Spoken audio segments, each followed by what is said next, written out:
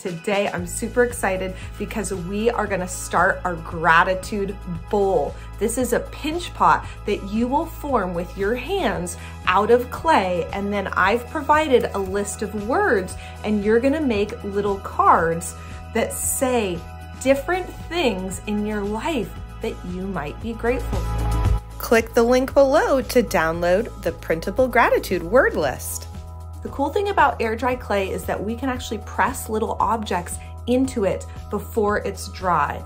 I'm gonna teach you how to do this in a minute, but first I wanna talk about gratitude. Some other words for gratitude are fortunate, lucky, or thankful. So when we are feeling grateful or thankful for something, we are feeling the emotion of gratitude and it is a big positive emotion. It does wonders for our brain and for our heart. It actually makes us feel good because gratitude leads to other happy emotions like being happy or feeling calm and peaceful or feeling love.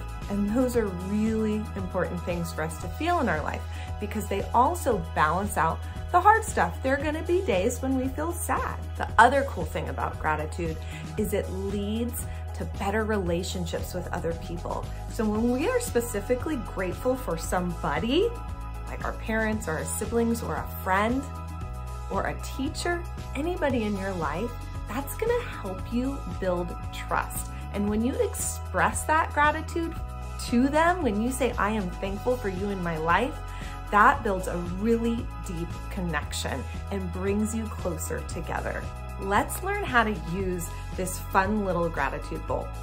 I close my eyes, I take a deep breath and I just pause. And I'm gonna just think about what should I be reminded of in this moment? What's something that I might need to remember to be grateful for? And I'm gonna pick Oops, I picked my cat, and the funny thing is I don't have a cat. So when you do this, only put the words that apply to you. I'm gonna pick a card, and it says my friends. Let's see if I can show that to you. It says my friends, and yes, I'm so thankful for my friends. I'm so grateful for my friends. That is a wonderful thing for me to think about today. So let's jump into the video and learn how to shape the bowl.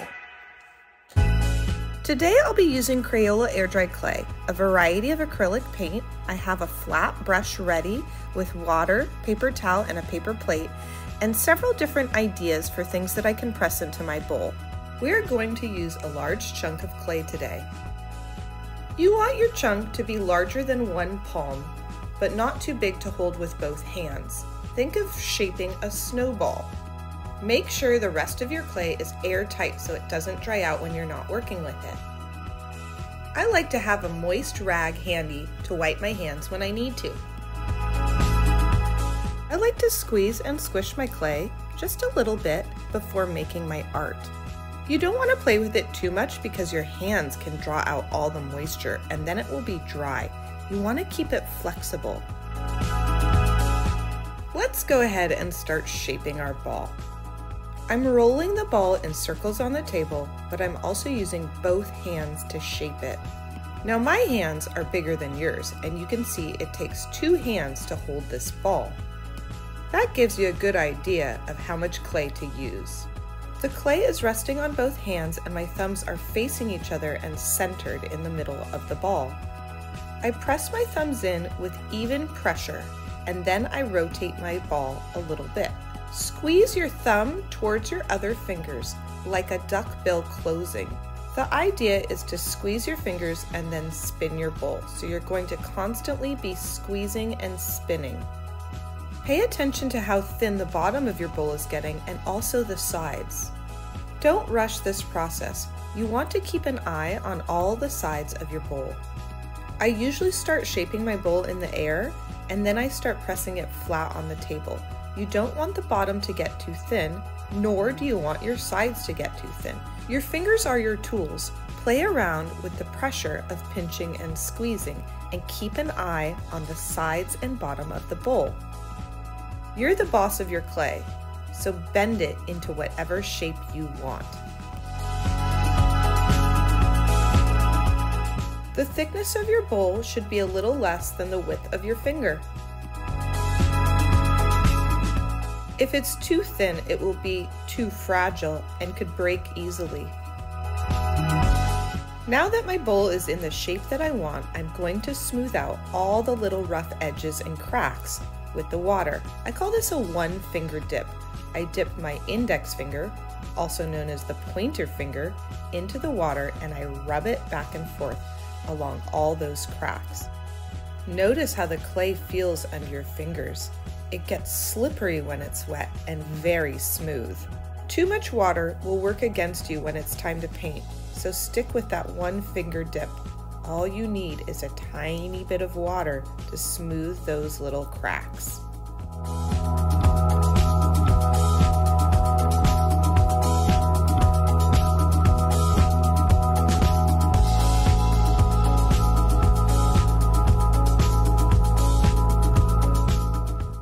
Constantly moving until it's dry, so you may have to adjust the edges of your bowl after you smooth your cracks.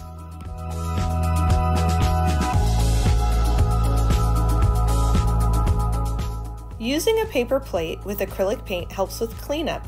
You can either throw it away when you're done or let it dry and save it and use it again. You also avoid putting acrylic paint down your drain. When it comes to painting your bowl, choose colors that you love there's so much freedom here, you get to design the pattern as well. If you're not sure what to do, choose two colors, one for the inside of the bowl and one for the outside of the bowl. You might be wondering why we're painting the clay while it's still moist instead of letting it dry. Well, the answer is simple. Because I'll be pressing objects into the soft clay, I need to paint first, because it would be really difficult to paint around all the little beads and sequins. I've decided to do three colors on the inside, making concentric circles, and one color on the outside. Okay, now I'm going to show you how I decorate and embellish the bowl. I'm going to cut apart this Mardi Gras necklace so that they're individual little shiny balls. These are great for making patterns and designs in the clay. You might wonder how deep you need to press your objects in. I say get them stuck in the mud. If you have a collection and a variety of small shiny things, use them. I put a button in the center, cut up Mardi Gras necklace, and I'm going to add beads in a second. Pressing small objects into the clay is optional. You could also do this project with just clay and paint. I'm finished with the inside, so I'm going to carefully flip the bowl over. The outside of the bowl is going to be one color. Make sure to get all the different sides of the bowl. When you finish painting the outside of your bowl, you're going to do two things. First, you're going to wash your brush. You never want it to dry with acrylic paint on it. That would ruin it. And then you're going to let the paint dry on your bowl before you flip it. Once it's dry on the outside, you can turn it over. If some paint pulled off the rim of your bowl, when it was upside down on the paper, you can touch it up. The last step is to move the clay bowl to a piece of cardboard. You want this to dry for several days in a warm, dry place. I love making pinch pots. The part two of this video is really short. I'm gonna show you the optional step of adding a shiny coat of Mod Podge that seals in all your little fancy additions. So if you used beads or buttons or sequins of any kind, it is a good idea to use the Mod Podge. It also makes the color a little more vibrant and bright. So if you have it around, go ahead and use it.